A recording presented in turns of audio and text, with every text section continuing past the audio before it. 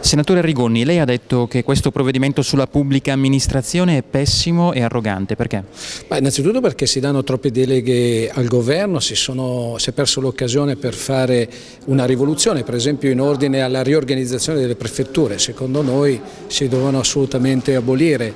eh, eh, cancellano la figura del segretario comunale ma si obbligano i comuni sostanzialmente a riassumerli come dirigenti, quindi questi escono dalla porta, rientrano dalla finestra. Non ci piace la delega sui servizi pubblici locali, vogliamo ricordare che c'è un referendum eh, sull'acqua pubblica che deve rimanere pubblica e questa delega in bianco insomma, lascia presagire qualcosa di negativo. È un pasticcio anche l'accorpamento, la cancellazione del corpo forestale dello Stato. Sicuramente verrà meno il contrasto agli ecoreati, verrà meno la tutela dell'ambiente, verrà meno la prevenzione contro il dissesto idrogeologico. Questa previsione di accorpamento del corpo forestale nell'arma dei carabinieri,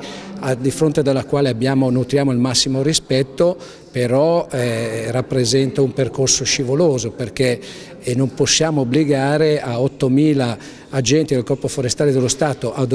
ordinamento civile a passare ad un'arma ad ordinamento militare. Insomma se, da, se il buongiorno si vede dal mattino noi vediamo che ci saranno dei risultati negativi, eh, basta ricordare la riforma del Rio sulle province che doveva essere una vera riforma della pubblica amministrazione sugli enti di area vasta, in realtà è un pasticcio, un fallimento su tutti i fronti e anche in tema di pubblica amministrazione io qui voglio denunciare la mancata promessa del Premier Renzi che aveva promesso lo scorso anno di pagare tutti i debiti della pubblica amministrazione nei confronti delle imprese che hanno lavorato per la pubblica amministrazione, queste stanno aspettando ancora miliardi e nel frattempo molte imprese sono fallite.